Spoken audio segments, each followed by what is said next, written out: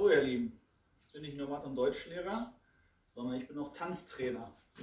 Jetzt haben wir Ferien, wir müssen uns alle fit halten, draußen ist Corona und ich habe mir so ein kleines 10 Minuten Center Workout ausgedacht bzw. zusammengestellt. Wenn man das ohne Pause durchführt, dann braucht man nur 10 Minuten dafür. Es sind 20 Übungen, jeweils 30 Sekunden. Ihr könnt gerne mitmachen. Wir starten jetzt erste Übung Kniehebelauf. Möglichst schnell und hoch die Knie ziehen. Die Arme schön an der Seite mitnehmen.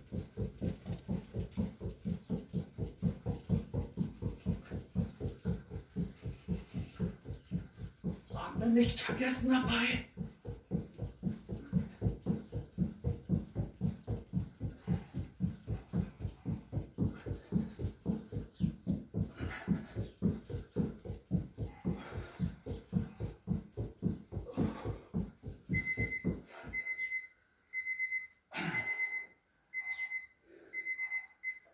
So, wir kommen zur zweiten Übung.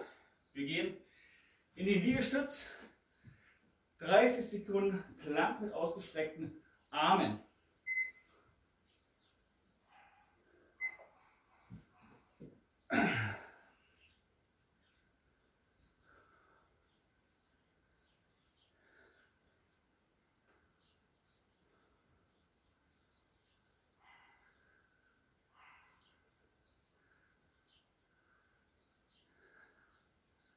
Schön am Rücken machen. Auch halten.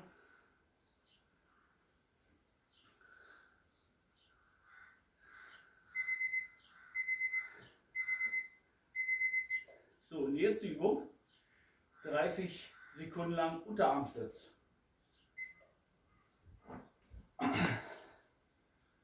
Wieder den Po anspannen, Bauch festmachen und schön halten.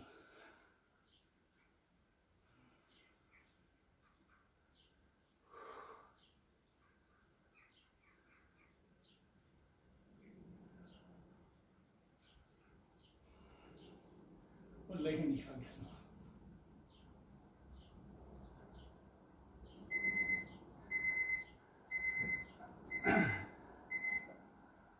So, die nächste Übung ist der Treppensteiger. Das heißt wie Himmelauf, nur im Vierfüßlergang.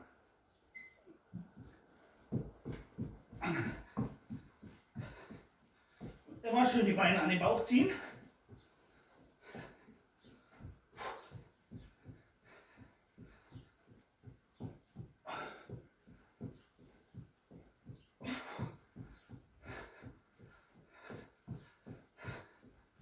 Die Hände bleiben unter der Schulter.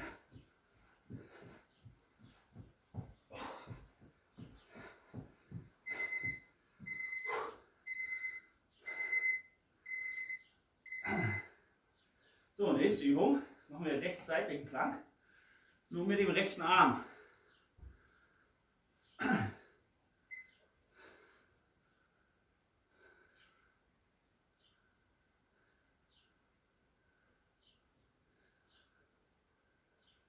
Schön weiteratmen, halten. Die Hand ist immer unter der Schulter. Andere Arm ausgestreckt nach oben.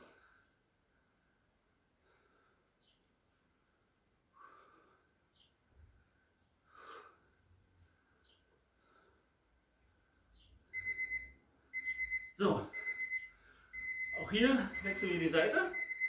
Und das Ganze mit dem linken Arm.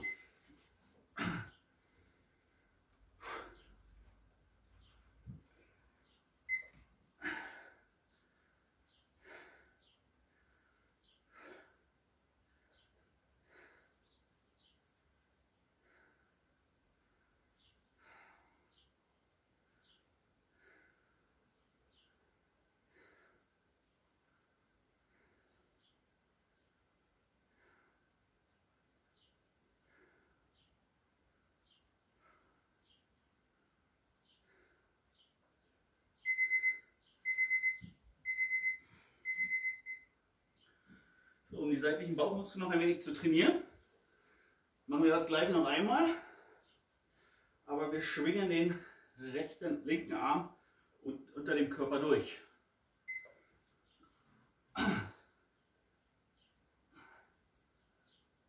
Wir folgen unserer Hand.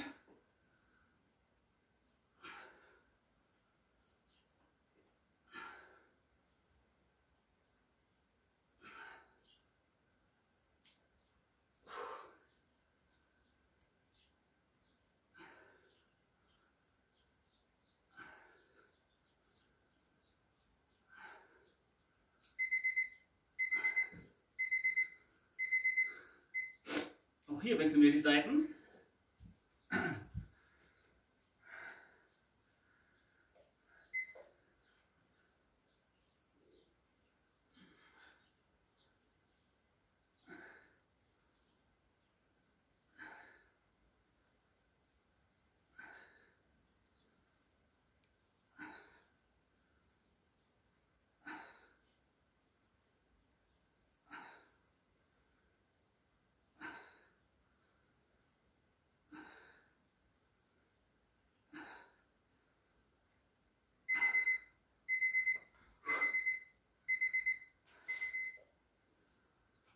So, jetzt eine der schwierigeren Übungen. Wir versuchen einen halben Liegestütz zu halten. Das heißt, wir legen uns auf den Bauch und drücken uns dann hoch. Nur über den Boden halten.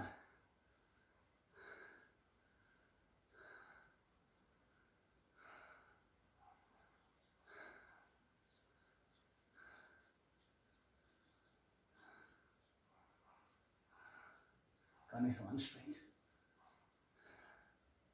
Po schön anspannen, Bauch schön anspannen.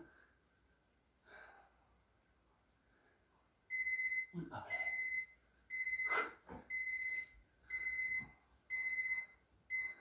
So, das waren schon mal 10 unserer Übungen auf dem Bauch oder auf der Seite. Jetzt gehen wir auf den Rücken. So, erste Übung. Wir wollen 30 Sekunden lang unseren Oberkörper halten.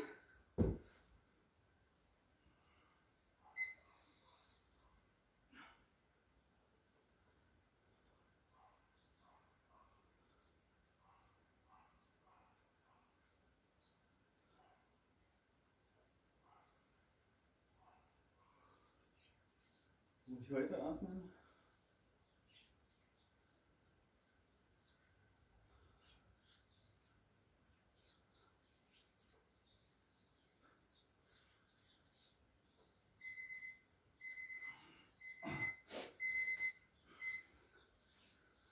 Bei der nächsten Übung versuchen wir die Beine möglichst Richtung Ohren zu ziehen.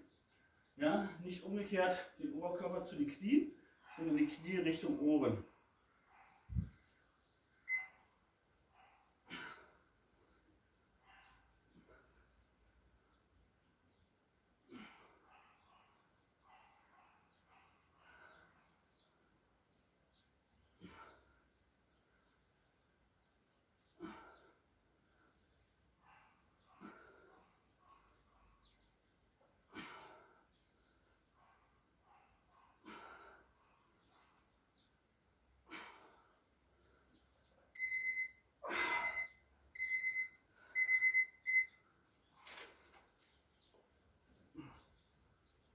So, jetzt versuchen wir, stellen wir unsere Beine auf und versuchen abwechselnd mit der Handfläche den rechten bzw. den linken Knöchel zu berühren. Kurz meine Ruhe wieder einstellen. So, geht los. Dabei legen wir den Oberkörper nicht ab. Jeder in seinem Tempo. Wer das schon kann, stellt einfach die Beine ein bisschen weiter weg.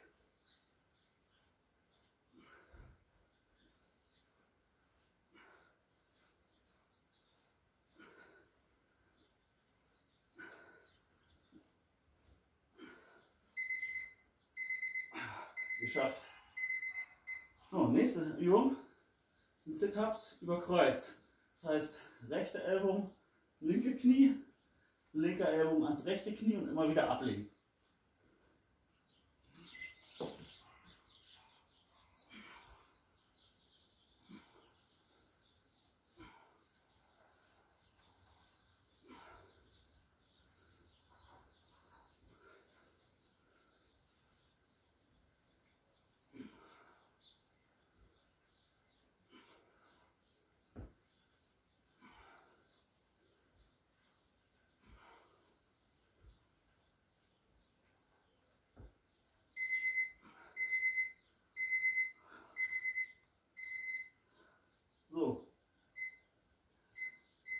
Das gleiche machen wir jetzt noch einmal, aber ohne Ablegen und möglichst schneller.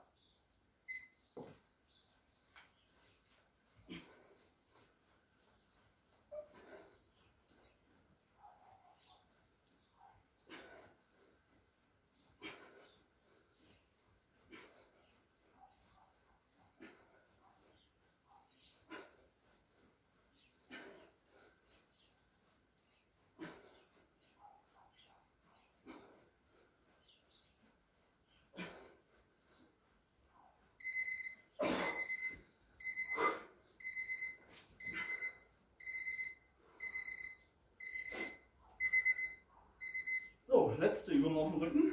Wir heben unser Becken ab. Das heißt, wir machen rückwärtigen Plank. Schön halten, Arme schön lang machen, Becken hoch.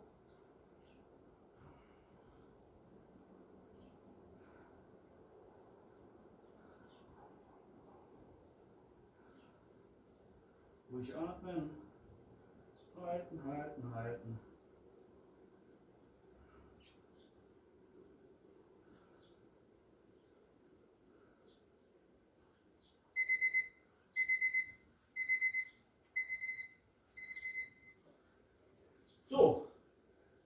Eigentlich schon die meisten unserer Übungen. Zum Abschluss wollen wir noch ein klein wenig dehnen. Als erstes machen wir die Cobra-Dehnung. Das heißt, wir drücken den Oberkörper hoch und stellen die Arme möglichst nah an den Körper ran.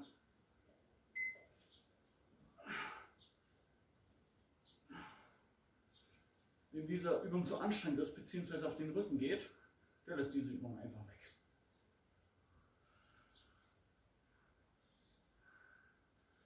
Arme schön nah an den Körper ran, dass man sich auch schön hochdehnen kann.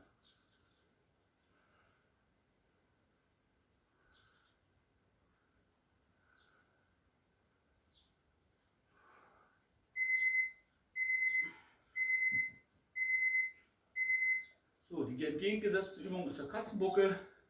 Für, die, für einige ist das angenehmer.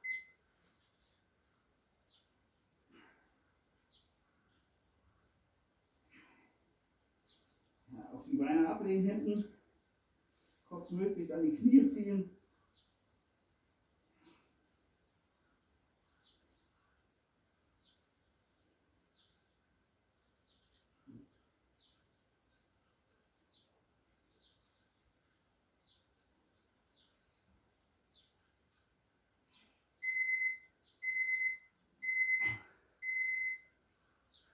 So, zuletzt wollen wir noch die Brust dehnen beziehungsweise den Schultergürtel. Ziehen den Arm schön raus, lassen ihn in der Schulterhöhe und dehnen. Wir merken, wie unsere Brust nach vorne kommt und der Arm nach hinten gezogen wird. Ruhig atmen. Vielleicht hört ihr euren Herzschlag dabei, beziehungsweise fühlt ihn.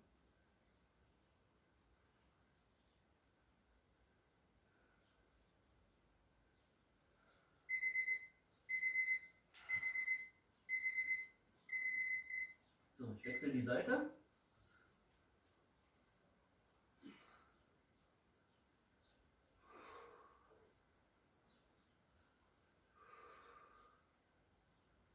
Schön ein- und ausatmen dabei.